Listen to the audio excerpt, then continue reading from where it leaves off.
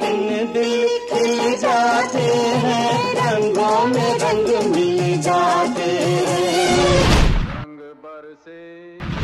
Udham Singh Nagar national India news bureau chief Manoj Haldar ji की तरफ़ से समस्त क्षेत्रवासियों और देशवासियों को होली की हार्दिक शुभकामनाएँ।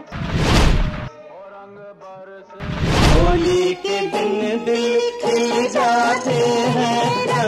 के दिन दिल खिल जाते हैं रंगों में रंग मिल